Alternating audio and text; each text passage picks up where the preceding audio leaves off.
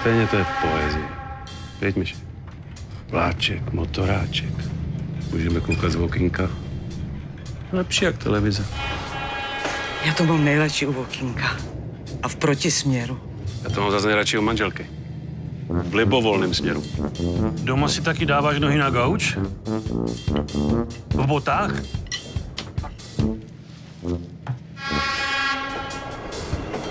Cestuješ sám? No, teď už jo.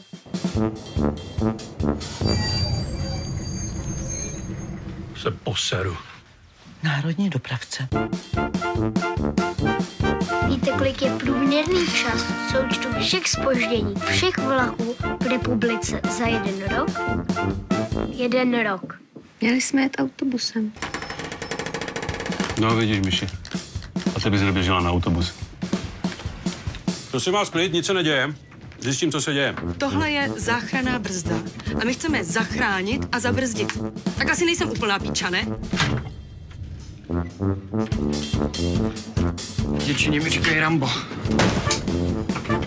Tak ví o tom letřápu někdo něco? Motorový vůz řady 810, lidově přezdívaný Cukajdo, orchestrion nebo splašený kufr. Jedeme v železničním vagónu na trati Kolešovice, Chrášťany a vlak nikdo neřídí. Musíš svolat krizový štáb. Sakra, já mám odpoledne pilates. Už jsou tady! Už pro nás jedou!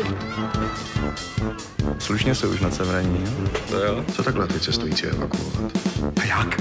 Já nevím, ve filmu se to dělá vrtulník. A ty máš vrtulník? No já jo. A nerad ho půjču.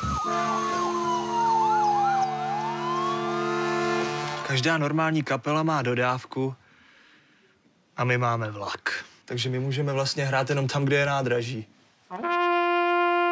Takže Brno škrtám.